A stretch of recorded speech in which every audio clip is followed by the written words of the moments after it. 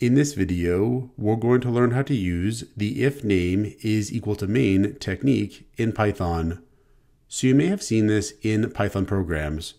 If double underscore name double underscore is equal to the string containing double underscore main double underscore, and then we'll have some code in this code block here. This Python programming technique makes it so this block of code only executes if this file is executed as a script but not if this file is imported as a module. Let's go over what's going on step by step. So first off, this here, double underscore name double underscore, that is a special variable in Python. When we use this file, that variable is actually going to be set by Python. We could output it here with print, and we'll have double underscore name double underscore. If we save the file and run the program like this, with Python 3 pycode.py, we'll get here double underscore main double underscore. So the special variable double underscore name double underscore is set to the string double underscore main double underscore when we run this pycode.py file as a script like this. Now, if we import this file in say other.py as a module, then double underscore name double underscore is going to be set to the name of the file, in this case, pycode. So here, if we have import pycode, we're now importing pycode as a module in the file other.py. And if we save other.py and then run other.py as a script, we'll get pycode as output. And what's going on is when we import pycode, the content in this file is going to be interpreted by Python. So this call to print is going to output double underscore name double underscore, but this time, because PyCode has been imported as a module and not run as a script, double underscore name double underscore is going to be set to the name of the file, in this case, PyCode. So that's how that special variable works. Now files are imported as modules by other files, so those other files can access things like functions and class types defined inside those modules. So for example, in pycode.py, we could define a function called function. And that function could have a function body, which is just this call to print here. And we could then save pycode.py.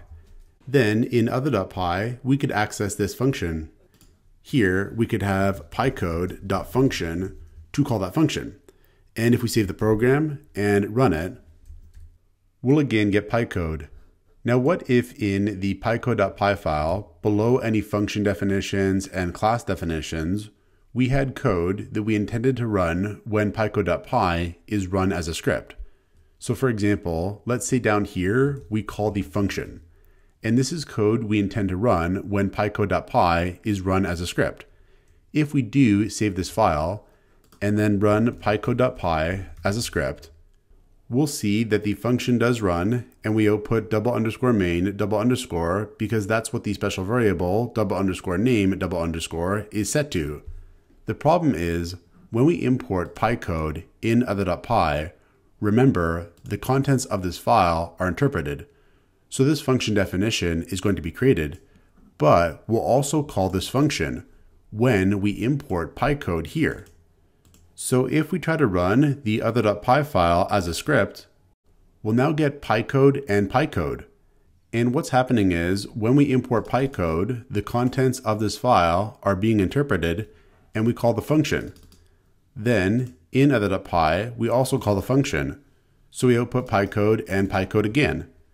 Now, what if we do want to import the pycode file so we can access the function and anything else defined inside the file, but we don't want to run the code that would typically run if that file were executed as a script? That's where we can use the if name is equal to main technique. So here we could have if double underscore name double underscore is equal to the string double underscore main double underscore, then we'll call this function. Now, if we save the pycode.py file and we run the other.py file as a script, we'll now get pycode output only once. And that's because even though other.py is still importing pycode and this content is still going to be interpreted, double underscore name double underscore is not equal to the string double underscore main double underscore. it's equal to the string pycode. So this condition is false, and this function call never executes. Then in other.py, we do call the function there, and we output pycode once. Now, notably, we can still run pycode.py as a script and have this code here run. So if we do run pycode.py as a script, we do get here double underscore main double underscore because the code in this code block did run. So this technique of using if name is equal to main allows us to define a block of code that will only execute if the file is run as a script, but not if the file is imported as a module. And this technique is often useful. So for example, in a file that is typically imported, that includes things like function definitions and class types, we may want to have some code that tests out those functions and those class types in that file we could put that test code inside the block of the if name is equal to main if statement. And then we could run the file as a script to run the test code, but the test code wouldn't run when importing the file. In languages like C and C++, there's a main function where program execution begins. Sometimes people use this technique to emulate that. So for example, we could call this function main, and then inside of the if name is equal to main block, we could call main.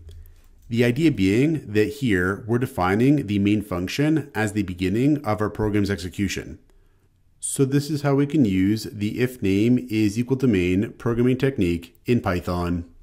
Check out portfoliocourses.com where we'll help you build a portfolio that will impress employers.